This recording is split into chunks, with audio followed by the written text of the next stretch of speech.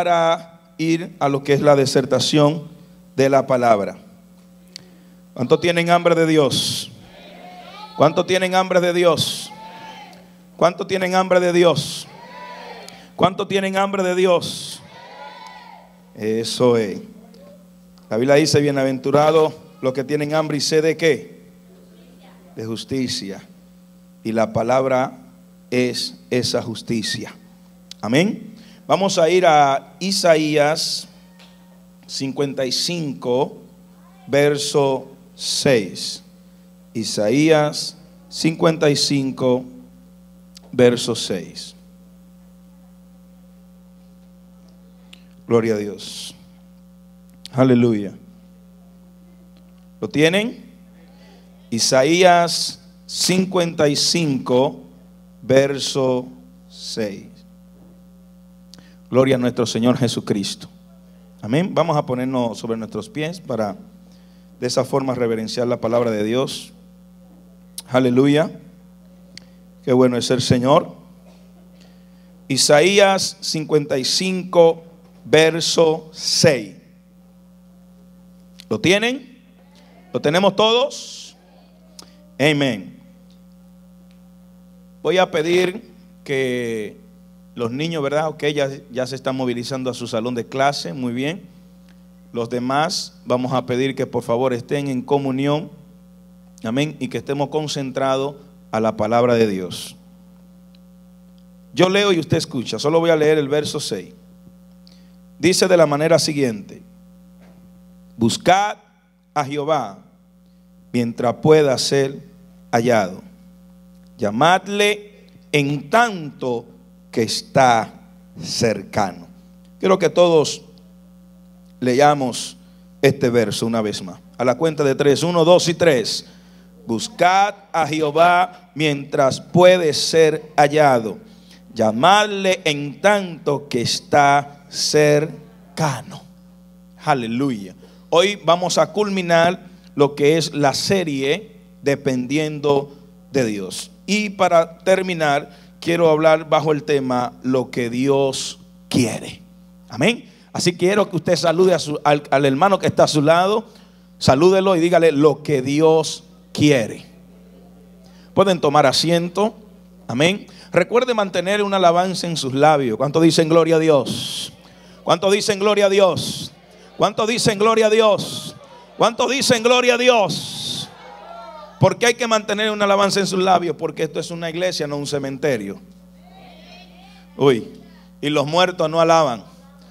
Todo lo contrario, los vivos resucitan a los muertos con su alabanza.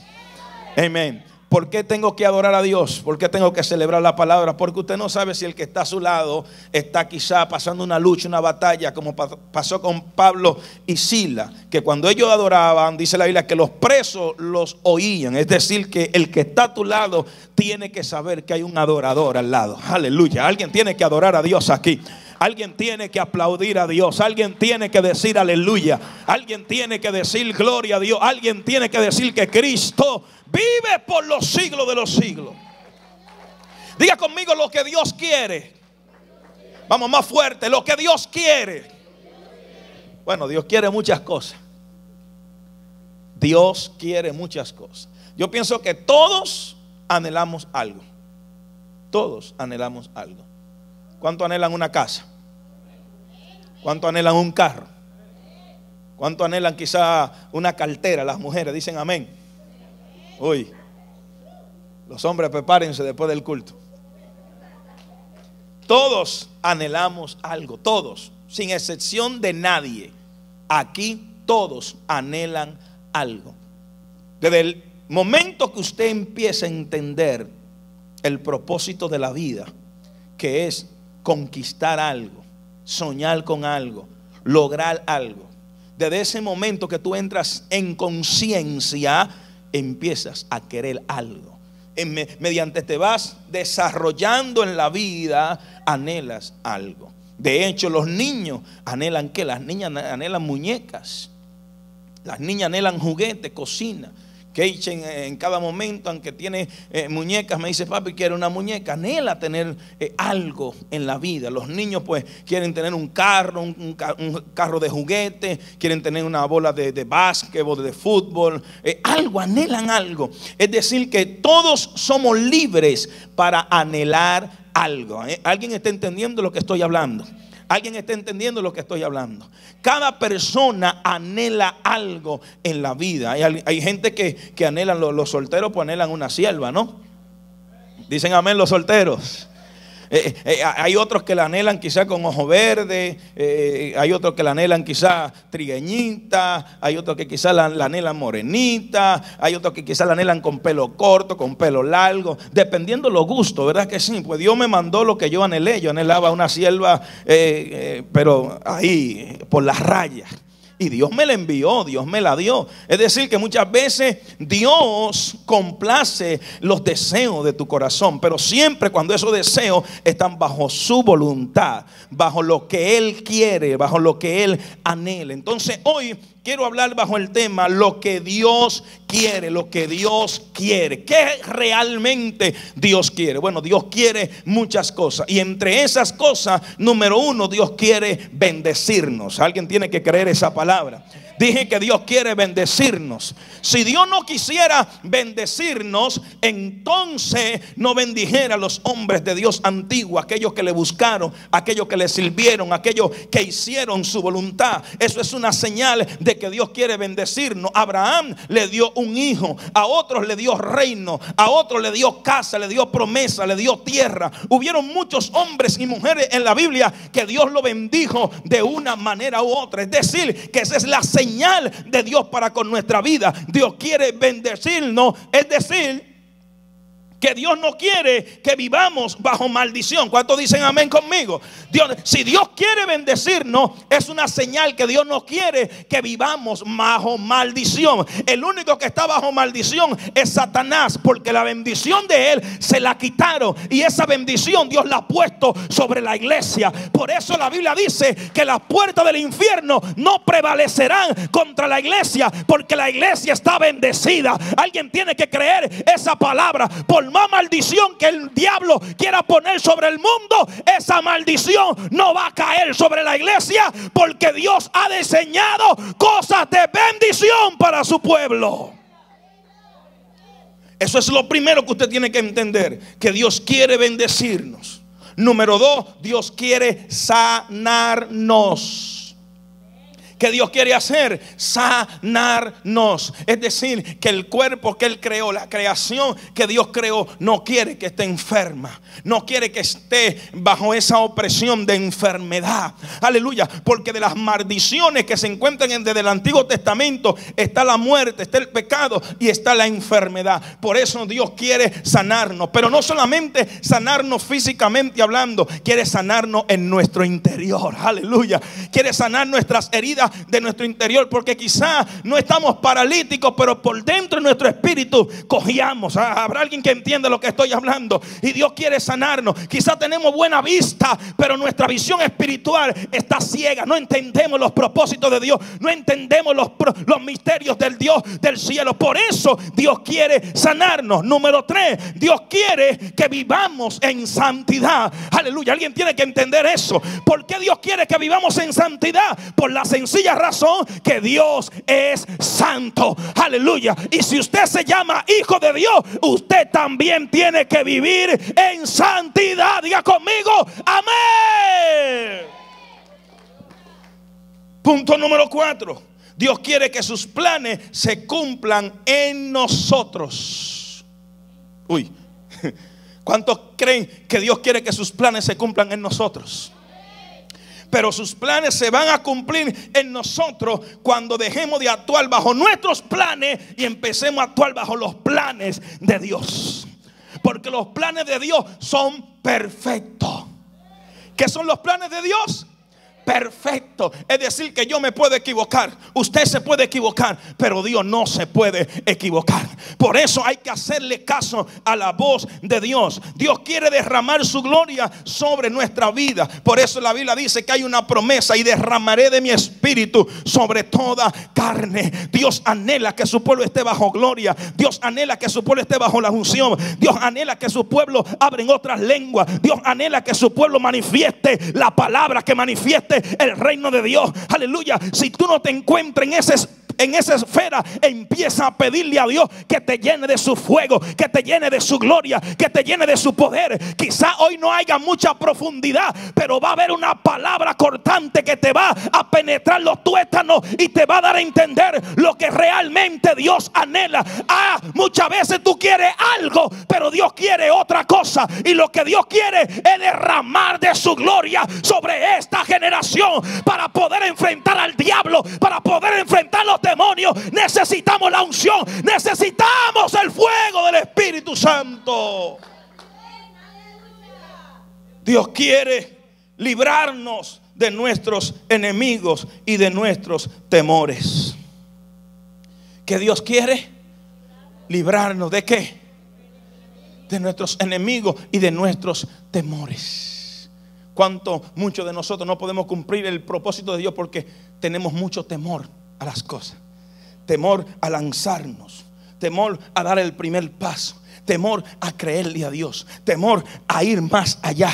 Y tenemos tanto temor dentro de nosotros que por eso no logramos nada. Pero hoy en el nombre de Jesús, todo temor se va a ir de tu vida. Y el único temor que te va a sobrecoger es el temor de Dios. Ah, Aleluya. No hay, no hay, no hay chance para tenerle temor al gigante. Porque si hubo un David que lo derribó, todavía los David están de pie, llenos de la unción de Dios, para derribar los gigantes que le quieren hacer la guerra. Dios quiere librarnos de nuestros enemigos y el principal enemigo que Dios quiere librarte es el diablo. Él lo venció en la cruz del Calvario. Así que no le tengas miedo a un enemigo vencido. No le tengas temor a alguien que ya está derrotado. No tengas temor. Porque Dios quiere librarnos de nuestros enemigos. Dios quiere que dependamos de Él en todo. ¿Qué Dios quiere? ¿Qué Dios quiere? Que dependamos de Él en todo. Y ya sabemos lo que hemos hablado todos estos domingos, de depender de Dios. Es aferrarnos a Dios. Es dejar que sea Dios que tome el dominio, el control. Es rendirnos ante Dios. Lo siguiente es que Dios quiere que seamos pobres de espíritu. Uy, y esto es fuerte como que seamos pobres de espíritu. Sí, porque el pobre tiene una actitud que aunque no tiene, desea tener algo. No tiene, pero anhela tener algo. ¿Por qué pobre de espíritu? Porque el pobre de espíritu siempre tiene hambre de algo. Y cuando Jesús en el monte de la transfiguración está hablando de que tenemos que ser pobres de espíritu, es decir, que tenemos que tener hambre por Dios todos los días. Todos los días esa hambre por Dios. Preocúpate si tú no sientes a Dios hoy. Preocúpate si tú no sientes a Dios mañana. Preocúpate si tú no sientes a Dios todos los días de la semana. Por eso es que tú tienes que estar preocupado. Porque el pobre de espíritu busca a Dios. Nota algo. Hay muchos pobres ahí en las calles ambulando. Si usted nota algo, comen bien porque otro lo sustenta. Están vivos. A veces la gente lo ve sucio, mal vestido, pero se muere otro primero que ellos que no come tanta basura. ¿Por qué suceden esas cosas? Es que entiendas, amados hermanos, que hay gente necesitada en las calles que Dios mira y pone sus ojos en ellos porque aún cargan propósito de parte de Dios. Aleluya. Lo que te estoy soltando de parte de Dios es lo siguiente. Tú tienes que ser pobre de espíritu de manera que sea Dios que te sustente, que sea Dios que te cubra, que sea Dios que te vista, que sea Dios que te provee, que sea habrá alguien que entienda lo que estoy soltando en esta hora. El que es pobre de espíritu anhela a Dios. Por eso no, no dice pobre en la carne, dice pobre de espíritu. Porque el pobre lo que anhela comida, anhela ropa, anhela casa. Entonces el pobre de espíritu tiene que tener esos síntomas, anhelar a Dios, anhelar estar en la casa de Dios, anhelar estar bajo la gloria de Dios. Por lo tanto, otro punto muy importante es lo siguiente. Dios quiere que nos congreguemos. ¿Qué quiere Dios? ¿Qué quiere Dios? Y, imagínese usted, por, lo, por ejemplo, Adán y Eva, Dios le dio una casa, Dios le dio un lugar. ¿Qué Dios le dio? Un lugar. ¿Y cómo se llamaba ese lugar? El, el, el, Edén, el huerto del Edén. ¿Qué cosa? Que el mundo siendo tan grande, había un lugar específico. Un lugar específico donde Dios descendía, donde Dios lo buscaba, donde Dios lo visitaba, donde tenían una relación con Dios. Tan así que el día que Dios llegó a la casa de ellos, no lo encontró. Lo buscaba y no lo encontraba porque andaban perdidos. ¿Por qué? Porque Dios estaba buscando su creación. Dios estaba buscando lo que hablaba su mismo lenguaje. Dios estaba buscando la, imagen y semejanza que Dios puso en ellos. Y como no la, no la vio, por eso no lo encontró. Y tuvo que preguntar, wow, el Dios que todo lo sabe, el Dios que todo lo observa, el Dios que sabe todas las cosas, aún las que no han acontecido. Pero aún así pregunta, ¿dónde estaban ustedes? ¿Dónde está? Y esa voz se escuchaba retumbando. Y Dios te está preguntando, ¿dónde está esa postura de gloria en la que tú te encontrabas antes? Ese estatus espiritual donde tú le hablaba los demonios y los demonios salían de los cuerpos, donde las enfermedades te obedecían. Yo no sé, pero a alguien Dios le está hablando y le está diciendo, te dejé en un lugar y en ese mismo lugar te voy a preguntar, ¿dónde está? Aún yo sabiendo dónde tú estás, es que quiero una respuesta. Quiero una respuesta, dice el Señor. Si Dios no hubiese querido, si Dios no hubiese querido que ellos tuvieran un lugar lo deja vivir en el desierto. Pero no, le preparó un Edén. Le preparó un lugar para que se, se, mantuvieran congregados ante Dios. Y Dios lo visitaba. Algo muy importante que yo puedo descubrir de este pasaje bíblico es lo siguiente, escúcheme bien. En el huerto es el único lugar donde hasta la misma voz de Dios se compasea. donde la misma voz de Dios se compasea. Hermano, entiéndalo muy bien. Si usted está fuera de la presencia de Dios, deja de escuchar la voz de Dios. Si usted está fuera de la cubierta de Dios, de la cobertura de Dios, deja de escuchar su voz. Desde el tiempo que Adán y Eva fallaron, se apagaron. Aleluya. ¿Por qué? Porque Dios quería que ellos fueran obedientes, pero ellos quisieron hacer lo que a ellos le dio la gana. Y Dios está madurando a alguien y le está diciendo no es como tú digas, es como el cielo ha dicho sobre tu vida. Iglesia, cuando nosotros estamos alineados a la voluntad de Dios, vamos a crecer donde quiera que estemos, aunque sea un desierto. Aleluya, porque el Dios del cielo siempre le demostró a su pueblo que en el desierto fue su Dios. Cuando lo estaban persiguiendo, fue su Dios. Cuando estuvo el mar rojo, fue su Dios. ¿Lo demostró o no lo demostró? Porque Él quiere demostrar que Él es Dios. ¿Estás tú dispuesto a demostrar que eres su hijo? ¿Estás tú dispuesto a demostrarlo? Dios nos está llamando la atención. ¿Qué es lo que realmente Dios quiere? Dios quiere que seamos luz en medio de las tinieblas. Uy, que la gente se confunde contigo, que no sabe si tú eres cristiano o apartado. Dile al que está a tu lado, hay problema. Yo no sé si él es cristiano o es descarriado. No sé si el evangélico o de qué religión es. No tienen identidad. Pero cuando la gente sabe quién tú eres en Dios, es porque esa luz en ti está brillando correctamente. Aleluya. Jesús dijo: No pongan su luz debajo de un almú, póngalo encima. En otra palabra, no se avergüencen de que la gente diga que son hijos de Dios. No te avergüences de demostrar que eres hijo del Dios que creó los cielos y la tierra. Dios quiere que guardemos sus mandamientos. Y hay muchos de nosotros que lo guardamos en una gaveta. Lo guardamos en el banco como que si tenemos miedo que se van ahí. Hay muchos de nosotros que lo guardamos debajo de la cama, debajo de la almohada, pero eso no es lo que Dios quiere.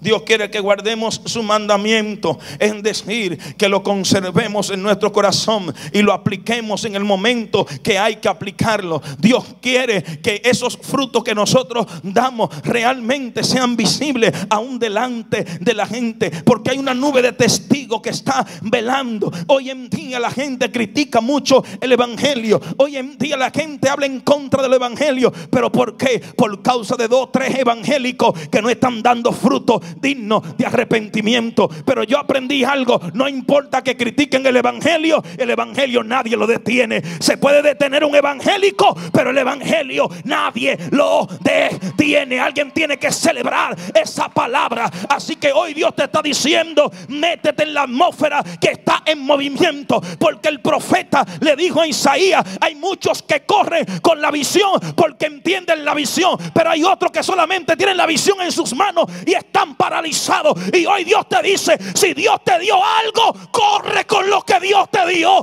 Corre con lo que Dios te ha entregado. Dile al que está a tu lado, no te quedes paralizado. ¿Sabe lo que significa guardar los mandamientos? Tenerlo presente siempre. Levanten las manos los que cuando se duermen, lo primero que ponen al lado es el celular. Hay dos o tres que, son tan sinceros que ni la mano levantan. Hay algunos que ponen la alarma porque al otro día trabajan. Hay otros que tienen la novia y están atentos al mensajito que le mandan. Hoy.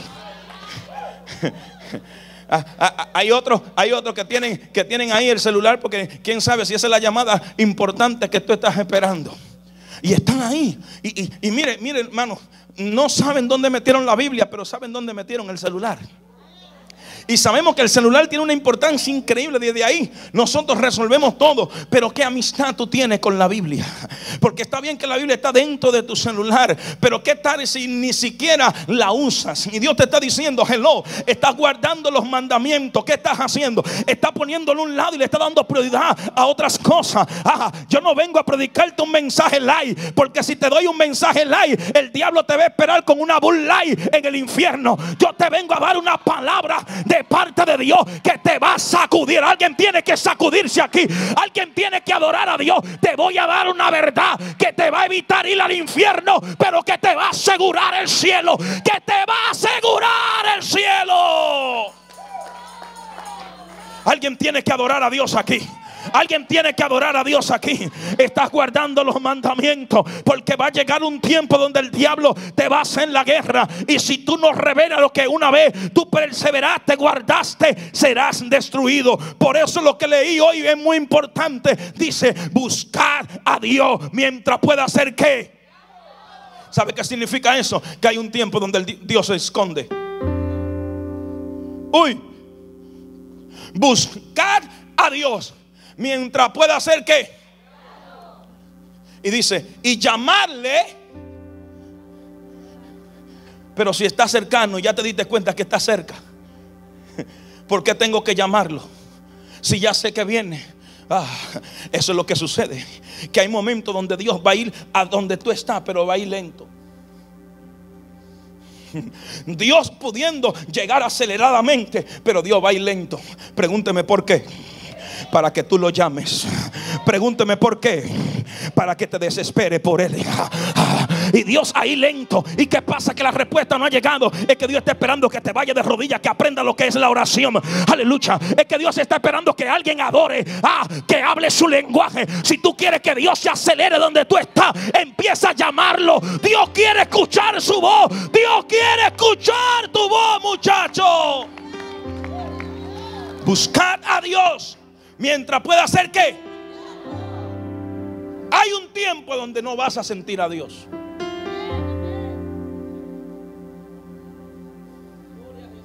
Dios mío, ¿y por qué no te siento? De eso se trata. Quería saber si te preocuparas que no me sientes. Buscad a Dios mientras pueda ser hallado, porque va a llegar un día que Dios se va a esconder. ¿A qué se refiere esto? Se está refiriendo a los tiempos difíciles que estamos viviendo, porque va a llegar un tiempo donde las trompetas van a sonar. Aleluya. Las trompetas van a sonar, lo material se va a quedar aquí en la tierra y el mismo Dios del cielo va a recibir a su iglesia en las alturas. Hay muchos cristianos flojos que van a querer congregarse toda esa semana y se le va a hacer demasiado tarde. Hay cristianos que van a querer hacer siete días de ayuno y se le va a hacer demasiado tarde. Van a pasar hambre eso todos estos días. Dios te está diciendo ayuna ahora, ora ahora, busca de Dios ahora. Habrá alguien que entienda lo que estoy soltando. Dios te está diciendo, busca a Dios mientras pueda ser hallado. El tiempo es ahora, iglesia. Por eso me encanta la actitud de Jesús. Porque Jesús 24-7 estaba buscando del Padre. 24-7 buscando del Padre. 24-7 buscando del Padre. ¿Por qué? Porque él sabía que él estaba bajo la voluntad de su padre y que su padre era lo que lo dirigía a él. Él sabía que sin su padre no podía hacer milagro. Él sabía que sin su padre no podía caminar sobre encima del mar. De, manera que dice en la Biblia que cuando tomó la vasija, ¿a dónde la, ¿a dónde la alzó? La alzó hacia arriba. Es decir, dependía de su padre. Aleluya. Dios le está enseñando a la iglesia, ¿sabes qué? Lo que tú tengas, échalo hacia arriba. Muévelo hacia arriba, porque esta es la única manera que se va a multiplicar. Ah, mucha gente quiere ponerlo a la derecha, mucha gente quiere ponerlo a la izquierda, mucha gente quiere ponerlo abajo. Dios te está diciendo, si no lo pones arriba, no se multiplica. Diga conmigo, solo Dios puede hacerlo. Dale un aplauso al Señor. Vamos, déselo más fuerte. ¿Qué Dios quiere? ¿Qué Dios quiere? Dios quiere que demos frutos. Y yo quiero que usted vaya a Juan capítulo 15, verso 8. Juan capítulo 15, verso 8. Juan capítulo 15, verso 8. ¿Lo tienen? Oiga lo que dice. En esto he glorificado a mi Padre en que llevéis mucho fruto y seáis así mis discípulos. Wow. ¿Qué Dios quiere? Que llevemos frutos. ¿Qué Dios quiere, iglesia? ¿Qué Dios quiere? Que llevemos frutos. ¿Sabe lo que dice la Biblia? Que el, el árbol que no da fruto, ¿qué le pasa? Ay, ay, ay. Que el árbol que no da fruto, ¿qué es? Pregúnteme, ¿por qué? Porque Dios no llama a nadie de exhibición. Uy, dos o tres lo entendieron nada más. Si eso está parado y no da fruto, simplemente está ocupando espacio. Por eso es que hay gente que Dios la va a quitar de tu vida porque no dan fruto. Por eso es que hay gente que Dios va a permitir que se vayan de tu lado. ¿Alguien entiende lo que, estoy soltando en esta hora? Hay gente que Dios la va a remover de tu lado porque no dan fruto. ¿Por qué? Porque están ocupando el espacio de la bendición que viene de camino. Ah, habrá alguien que entienda lo que estoy hablando. Y quizás tú estás diciendo, pastor, pero ¿qué pasa? Que la bendición no llega. Lo que pasa es que hay cosas que no están dando fruto y están ocupando el espacio de la bendición. Y Dios te está diciendo, quítalo, quítalo, quítalo, quita. Quita esas amistades que no te convienen. Quita esas amistades que no te convienen. Te atreverías a quitar esas amistades que no dan fruto porque hay una bendición que quiere fluir a tu favor, iglesia. Dile al que está a tu lado, quítalo. Yo he tenido que, que, aconsejar la mayoría de las personas que hoy en día, hoy aconsejamos en la iglesia, una de las razones por la que viene lucha y batalla y contaminación es por las amistades. Amistades que no dan fruto. Tú das fruto, pero ella o él no. Uy. Señor, pero, pero ¿y qué pasa? ¿Qué pasa que tú no me terminas de bendecir? Es que mi siervo, hay un árbol sembrado en tu jardín que no está dando fruto y simplemente está de adorno. No podemos tener a gente de adorno. Esto es un ministerio de movimiento. Esto es un ministerio de dar fruto. Esto es un ministerio de operar en cualquier área que hace Dios. Porque muchas veces ni el pastor, porque a veces el pastor tiene buen corazón a tal magnitud que tiene misericordia y no remueve a nadie. Pero ¿qué hace el mismo Dios? Tú no lo quieres remover. Yo lo voy a hacer por ti. Porque yo quiero que mi obra crezca. Yo quiero que mi reino se multiplique. Así que dile al que está a tu lado, da fruto muchacho. Da fruto da fruto, da fruto, da fruto. Pastor, no, no predica así. Bueno, pues entonces que borramos la Biblia. Lo dice la Biblia. Dios quiere que manifestemos su poder. Ya estoy terminando, deme una hora más. Lo que Dios quiere para nosotros desde el principio aún sigue vigente. Ay, ay, ay. Pregúnteme por qué. Porque Dios no cambia. Ay, ay, ay, ay, ay, ay, ay. Pastor, ¿cómo así? Que lo que Dios te prometió sigue vigente todavía. Ah, habrá alguien que tiene que celebrar aquí. Alguien tiene que ponerse de pie aquí a adorar a Dios. Alguien tiene que celebrar eso porque esa palabra es sencilla pero demasiado poderosa. Pastor, ¿por qué lo de Dios se va a cumplir? Porque Él no cambia. Pastor, ¿por qué todavía esa promesa sigue en los aires y viene sobre mi vida? Porque Dios no cambia. Así que si Dios te prometió algo, muchacho, prepárate. Que si no lo ves en el 2017, lo vas a ver en el 2018. Pero algo va a suceder. Algo va a suceder. Algo va a pasar. Y el que está a tu lado, se va a cumplir. Porque Él no cambia. Siéntese, siéntese. Tuve que mandarlo a despertar porque había muchos que estaban durmiendo. Tenía que recordarle esta palabra. Malaquías 3:6 dice, porque yo, el Señor, no cambio. Por eso ustedes, oh hijos de Jacob, no han sido consumidos. Uy, a veces el mismo Dios, tan malo que nos comportamos, a veces el mismo Dios quiere bajar un fuerte sobre nuestra vida, pero Dios se acuerda que Él es misericordioso. Y, nos encontramos con ese versículo de la Biblia que dice del salmista David, del salmista David, tu misericordia me seguirán todos los días de mi vida. Oiga bien este principio. Si usted no conoce su propósito, es imposible que llegue a cumplirlo. Dile al que está a tu lado, debes conocer tu propósito. ¿Cuál fue la primera intención de Dios? Que el hombre reflejara su imagen. Es decir, que usted puede ser usted, pero puede actuar como Dios. Para caminar en lo sobrenatural de Dios, lo sobrenatural de Dios tiene que estar por encima de lo natural de usted. Nunca podrá ver a un Dios sobrenatural operando bajo tu naturaleza. Tu verdadera naturaleza no es carne y hueso. Tu verdadera naturaleza es espíritu. Y eso es lo que Dios quiere poner sobre nuestro espíritu. Quiero que usted vaya conmigo a Primera de Corintios capítulo 3. Quiero traer un fundamento sobre la iglesia en esta hora. Primera de, Corintios 3. Hay mucha gente que cada vez que, que quiere pues hacer, hacer sentir bien a su esposa, a su novia, le lee Primera de Corintios 3. Hay veces que cuando quiere ser muy espiritual, le lee primera de Corintios 13. Hay veces que, para que crea que la, que la sierva, ese siervo, eh, es un hombre de Dios y, va rápido y le busca primera de Corintios 13.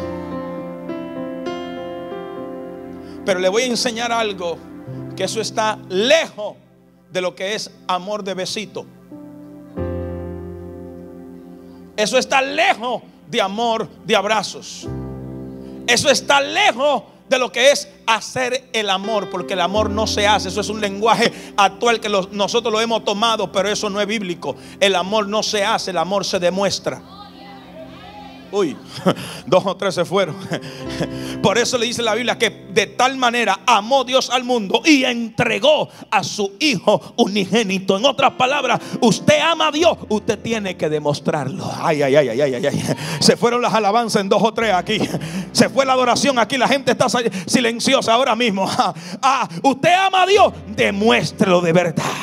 Oiga lo que dice Primera de Corintios capítulo 13. Dice, si yo hablase lenguas humanas y angélicas y no tengo amor, vengo a ser como metal que resuena o símbolo que retiñe. Y si tuviese profecía y entendiese todos los misterios y toda la ciencia, y si tuviese toda la fe de tal manera que trasladase los montes y no tengo amor, nada soy. Y si repartiese todos mis bienes para dar de comer a los perdón, a los pobres y si entregase mi cuerpo para ser quemado y no tengo qué.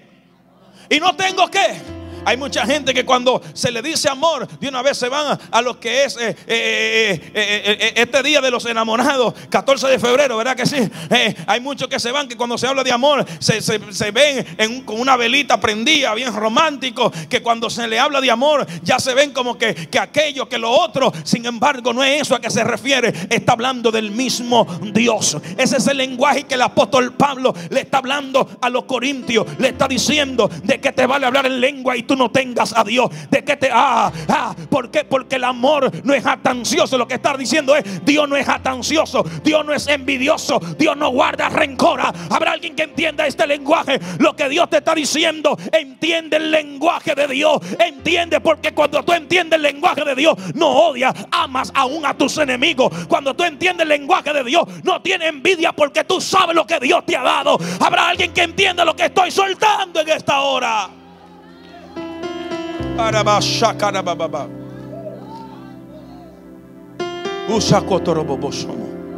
Que Dios nos está revelando. Que Primera de Corintios cuando dice amor está hablando de Dios. El amor es sufrido, Dios es sufrido. El amor es benigno, Dios es benigno. El amor no tiene envidia, Dios no tiene envidia. El amor no es atancioso, Dios no es atancioso. El amor no se envanece, Dios no se envanece. Ay, ay, ay, ay, ay, ay. El amor no hace nada indebido. Dios no hace nada indebido. A eso es que se te refiere. No se está hablando de, de una noche romántica de tirar flores en el piso y recibir a tu amada esposa. No, no, no, no, no. Está hablando del amor de Dios. Se está refiriendo a Dios. Por eso es que cuando tú entiendes lo que Dios entiende, entonces tú comprendes la palabra de Dios. Así como hay cosas que Dios quiere, hay otras que no la quiere. Diga conmigo, uy. Diga conmigo, uy. Y yo aprendí algo, que aun cuando Dios no quiere, está queriendo algo. Te lo voy a repetir. Aun cuando Dios no quiere algo para ti, es porque está queriendo algo. Por ejemplo, Dios no quiere que vivamos en pecado. Es decir, que si Él no quiere que vivamos en pecado, es porque Él quiere librarnos de algo. De algo. Dios no quiere que seamos personas chismosas. ¿Por qué? Porque Él quiere poner su lenguaje en nuestra boca. Y en boca de chismoso, Dios no va a poner su lenguaje de reino. Habrá alguien que entiende lo que estoy saltando. Dios no quiere que seamos de doble ánimo. ¿Por qué? Porque Dios no es de lo que un día está fuerte y otro día está débil. Dios no es de lo que un día está siendo Dios y otro día se está sintiendo con miedo. No, Dios no es así. Por eso Dios no quiere que tengamos doble ánimo. Dios quiere que seamos firmes en las cosas de Dios. Dios no quiere que tengamos otro Dios. ¿Por qué? Porque Él es el único verdadero. Dios no quiere que hablemos mentira. ¿Por qué? Porque el diablo es padre de mentira. Y si usted es hijo de Dios, Dios, tiene que decir la verdad. Habrá alguien que adore a Dios. Quizá hoy no va a haber mucha alabanza porque hay un mensaje poderoso que va a alinear tu vida al corazón de Dios. Dios te está diciendo, Dios no quiere pecado, Dios no quiere mentira, Dios no quiere chisme y eso revela que hay algo nuevo que Dios te va a dar. Hay algo nuevo que Dios te va a dar.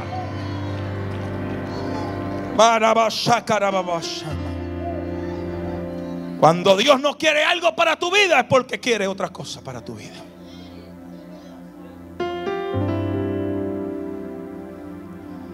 No ser religioso no indica que no se predique la verdad. De eso se trata. De eso se trata. Jesús no era religioso, pero predicaba la verdad. Entonces hay gente que confunde. No, que, ahí son religiosos. Entonces cuando dicen, cuando dicen que ahí son religiosos es porque creen que, que tienen el evangelio perfecto. Pero cuando hay otros que dicen, no, ahí no son religiosos, es porque se le va la mente a no, ahí eh, tienen un el evangelio de, de la libertad condicional. Y no es así. La palabra de Dios nos ha llamado a ser libres. ¿Cuántos son libres? ¿Cuántos son libres? Pero lo único que te ha hecho libre es la verdad de Dios. Porque la Biblia dice, y conoceréis la verdad y esa verdad os hará libre. ¿Libre de qué? Del pecado, de la mentira, del odio. Aleluya, alguien tiene que adorar a Dios. ¿Libre de qué? ¿Libre de qué? De la hechicería, de la brujería, de la santería. ¿Libre de qué? Del alcohol, de la droga, ¿de qué más? Dígame usted, ¿de qué? De la mala vida. Te hizo libre. ¿Qué hace con esos brazos cruzados? Si te hizo libre, adórale, adórale. Mateo 8, 1, 2 y 3. Dice, cuando Jesús bajó del monte, grandes multitudes le seguían. Y se acercó un leproso y se postró ante él diciendo, Señor, si quieres, puedes limpiarme. Jesús extendiendo sus manos, le tocó diciendo, quiero. Y le dijo, sé limpio. Note algo. Note algo. Aquel hombre quería su milagro. Y Jesús quería sanarlo. Porque cuando tú quieres, Él también quiere. Cuando tú quieres buscarle, Él se te acerca. Cuando tú quieres que Él te llene, Él te llena. Cuando tú quieres que Él te toque, pues Él te toca. Él te toca. Y Dios te está diciendo, vamos, vamos, vamos a entender este gran misterio. Dios quiere, pero tú estás queriendo. Estás queriendo acercarte a Dios. Estás queriendo amar a Dios sobre todas las cosas. Hoy hay un mensaje de alineamiento. Hoy hay un mensaje pastoral. Hoy hay un mensaje que nos endereza. ¿Por qué predicador? Porque el cielo es directo. En el cielo no hay curva. En el cielo no hay atajo. El camino del Señor es directo. Y por lo tanto tenemos que andar derecho en los caminos del Señor. Hoy Dios nos está hablando que tenemos que recapacitar. Pastor, yo esperaba otro mensaje. Porque hoy Dios trajo lo que Él quería dar. Uy, que Dios quiere, que Dios quiere. Recuerde lo que cuando Él no quiere algo es porque quiere darnos algo. Iglesia, busquemos de Dios. Iglesia, acerquémonos a Dios. Voy a pedir que el grupo de adoración suba al frente, por favor que Dios nos está enseñando, que Dios nos está revelando. Póngase de pie en esta hora. Que Dios nos está mostrando.